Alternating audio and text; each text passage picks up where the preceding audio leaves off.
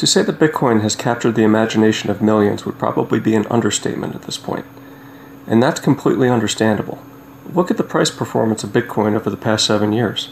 It has climbed from $100 to a little under $13,000 today. Those who were buying Bitcoin in its very early days, when it could be obtained for less than a dollar, I'm sure are very happy.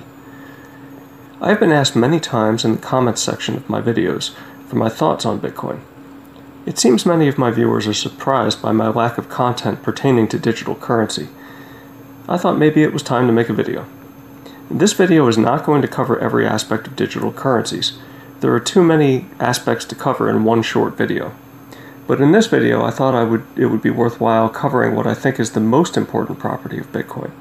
All of the others I view as somewhat secondary. Bitcoin doesn't exist on its own. It requires a giant network of computers.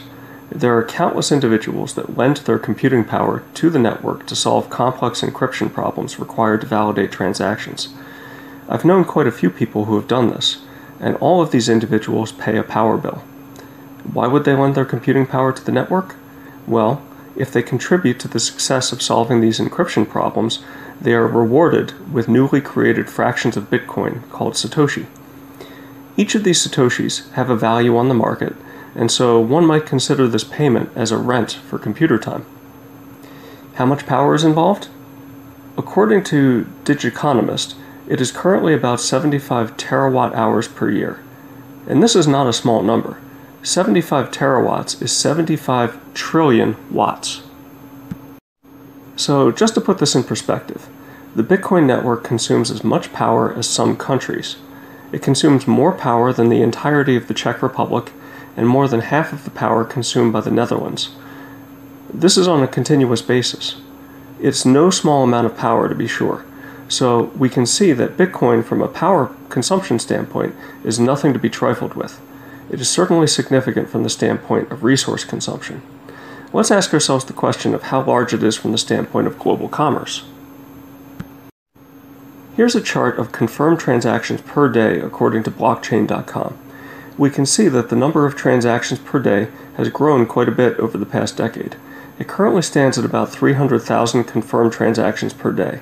And by the way, when we refer to transactions, we're referring to the transfer of an authorized amount of Bitcoin from one owner to the recipient. So let's do some math.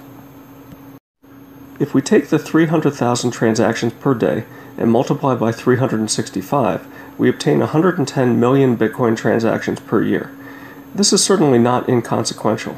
Of course, we need to compare this to some other measure of economic transaction volume. For this purpose, I'll use the 2019 transaction volume of all of the major global credit cards. Overall, cards like Visa, MasterCard, American Express, and UnionPay had transactions totaling 441 billion. Thus, credit card activity is still about 4,000 times greater than that of Bitcoin. Of course, one might see these numbers and think that Bitcoin has uh, quite a bit of growth potential left.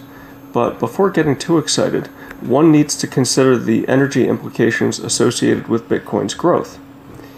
We've already seen that the Bitcoin network consumes 75 terawatts per year to solve the encryption problems to validate all of the 110 million transactions processed in a year. If we divide the two, it works out to be 682 kilowatts per transaction. Is this number significant? Let's put it in perspective. The average residential power rate in the US is a little over 10 cents per kilowatt hour. At this power rate, the cost of each Bitcoin transaction will be about $68. Now, this cost is only about half of 1% if the transaction is a full Bitcoin at current prices. Certainly doable. But imagine if every transaction creates a frictional cost of $68 Certainly, for transactions of $1,000 or less, this will become prohibitive. Think about the amount of power represented by 682 kilowatts. The average house in the US currently consumes 877 kilowatt hours per month. So, you mean to tell me that one Bitcoin transaction requires roughly the same amount of electricity required to power the average house for a full month?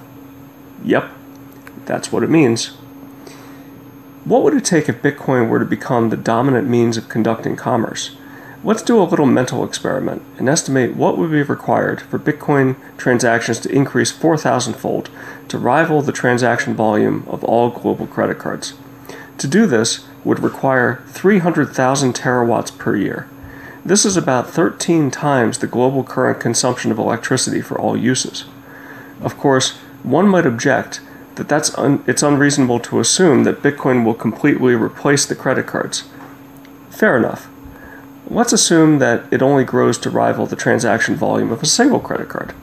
This would only require a few times more electricity than is currently being consumed by the world for all uses. Of course, one needs to add on top of that that those who are lending their computers to the network will need to be compensated for all of that electrical consumption through the award of additional Bitcoin. But that's another issue. My conclusion from this evaluation is that Bitcoin will not be used as a currency. It's just too power intensive. Now, this does make one wonder about its being used as a reserve asset rather than as a currency. Gold, after all, is not a currency, it's a Tier 1 reserve asset. Through mechanisms at the LBMA and through its use as a reserve by the global central banks, it lends its credibility to international currencies. What if Bitcoin, instead of functioning as a currency, is to instead function as gold does, as a reserve asset? Well, what would be required is for a large global debt market to evolve that is denominated in Bitcoin. It would require the banking system to adopt Bitcoin as the numeraire for transactions. Governments around the world would need to obtain and store Bitcoin as they do gold. They would need to pay an, an enormous sum of money to the current Bitcoin holders in exchange for the needed Bitcoin reserves.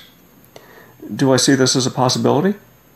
Oh, probably not with Bitcoin. It is possible that at some point blockchain will become an important part of the global monetary system, but it seems to me that something much more efficient would be needed. Oh, that reminds me. I need to go check the energy consumption of my gold stock. Oh, good. It's still zero.